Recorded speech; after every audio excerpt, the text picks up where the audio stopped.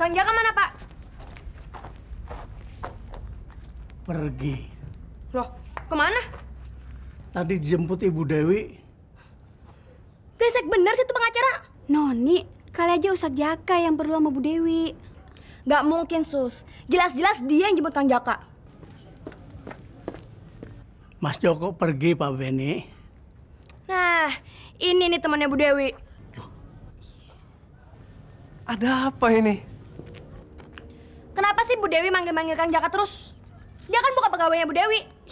Padahal nasibnya Kang Jaka aja dia nggak mau mikirin.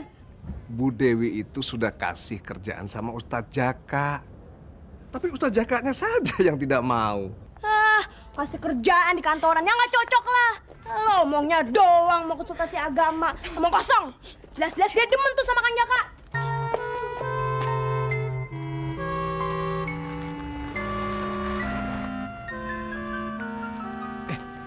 Apa betul omongan anak itu? Yang mana, Pak?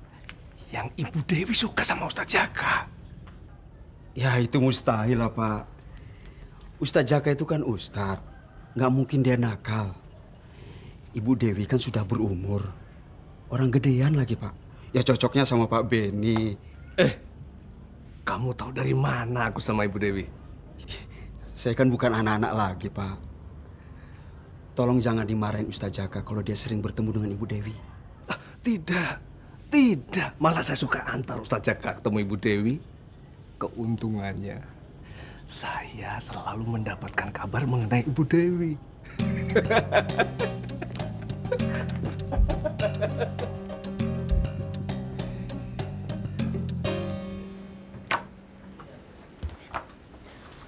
Selamat siang. Saya mau ketemu Ibu Dewi. Tanya saja Bu Eni. Selamat siang, Mbak. Selamat siang. Saya mau ketemu Ibu Dewi. Keperluannya? Bilang aja saya temennya Kang Jaka. Bilang aja nama saya Noni.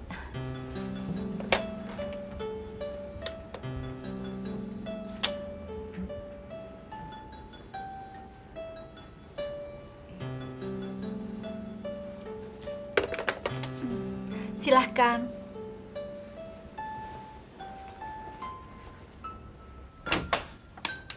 Selamat siang.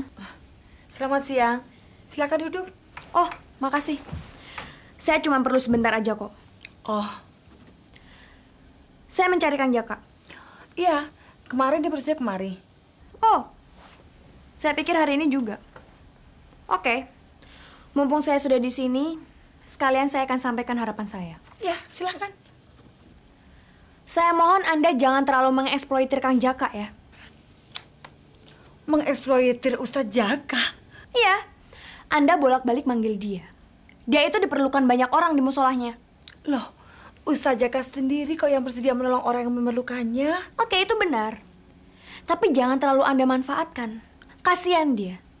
Jangan mentang-mentang dia baik hati dan suka menolong. Eh, tunggu. Apa hak Anda melarang saya? Hak saya adalah menolong orang yang diperlakukan semena-mena. Saya tahu Kang Jaka tidak suka dibilang seperti ini. Tapi saya merasa berkewajiban. Saya cuma mau bilang itu aja. Maaf.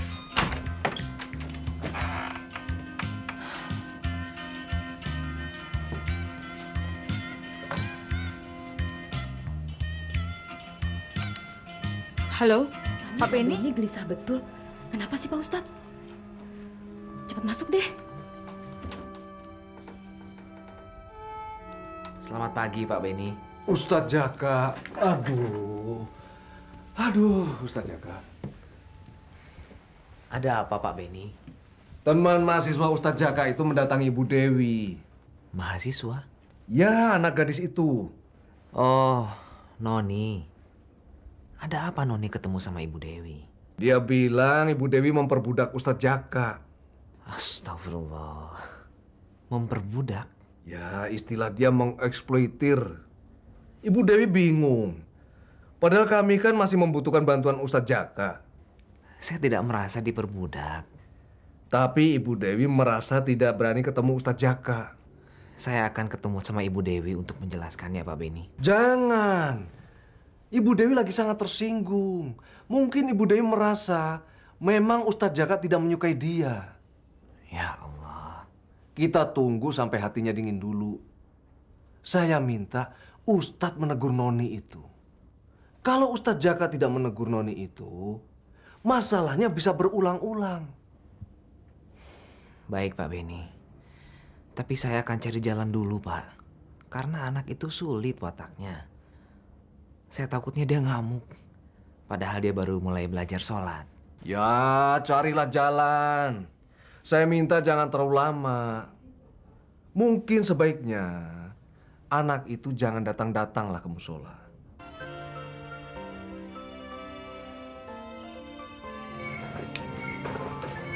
Non, bakso. Ada yang terakhir nih. Gue baru ngedamprat Bu Dewi. Lu ngedampret Bu Dewi? Di mana? Gue datengin aja kantornya. Habisnya gue sebel banget sih. Dia bolak-balik jemput Kang Jaka terus. Terus lo bilang apa sama dia? Pokoknya gue ngelarang dia ngeksploiter Kang Jaka. Wah, berani bener marah-marah di kantor orang. Apa yang mesti takutin? Terus Ustadz Jaka gimana? Nah tuh dia gue bingungnya. Gue tuh baru sadar kalau ternyata Bu Dewi itu teman dekatnya Pak Beni, bosnya Kang Jaka. Tapi lu bener juga, Non. Kalau nggak lu ceplosin kayak gitu, mereka tuh bakal seenaknya gebudakin Ustadz Jaka. Tapi kasihan juga Kang Jaka. Dia pasti dimarahin sama bosnya. Dan dia juga pasti marah sama gue.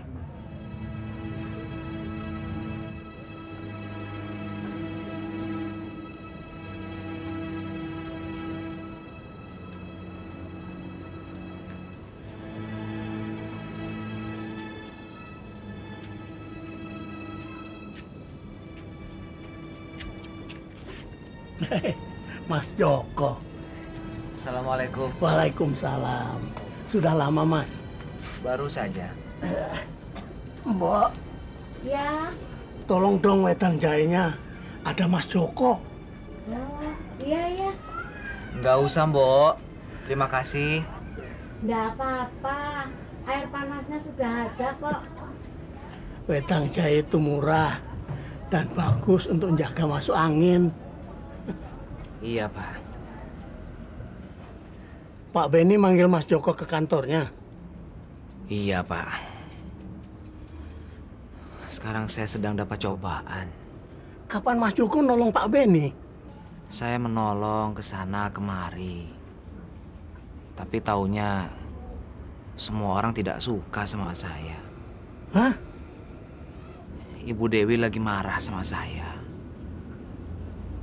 Pak Beni kesal sama Noni.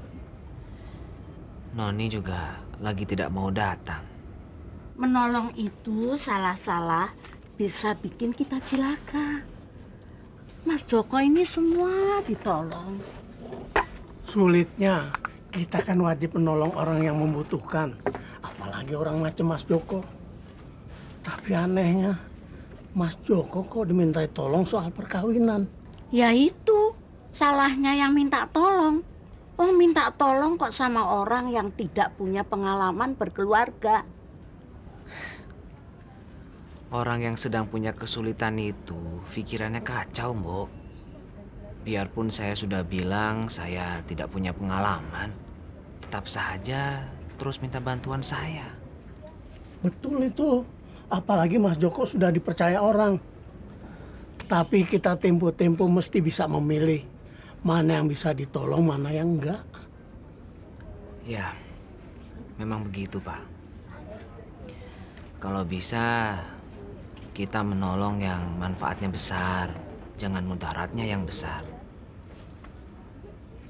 Tapi sering kali kita sulit menilai mudarat dan manfaat itu, Pak. Ya, kita perlu teman untuk berunding. Mbok Mas Joko itu tanya-tanya sama anak mahasiswa.